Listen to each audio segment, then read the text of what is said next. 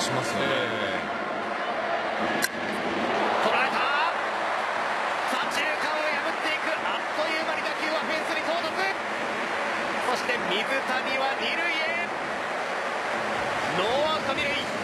初回からいきなり捉えていった水谷。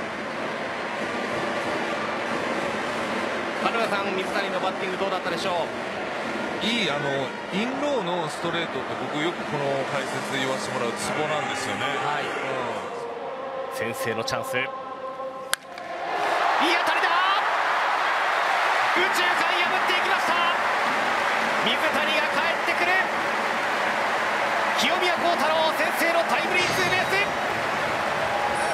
1、2番の連続ツーベースでいきなり1点を先制しました綺麗に弾き返していきました。見事な速攻でしたね、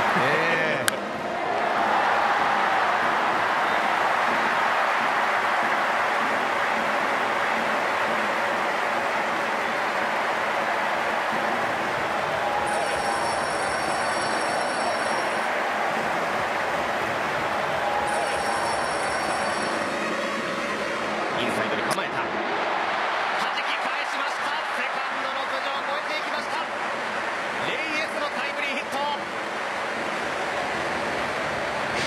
ファイターズ初回2点目。最後レイエスもかなり詰まらされたかなと思ったんですが。いややっぱ力で持ってきましたよね、であれだけチェンジアップで攻められるとやっぱ相当頭にあったはずなんですよね、はい。抜かれ球っていうのが。それはあのインサイド結構いいコースでしたからうん。しかも高めね。そうですうん。アウトコース低めに目がいってるバッターでしたからあそこなかなか難しい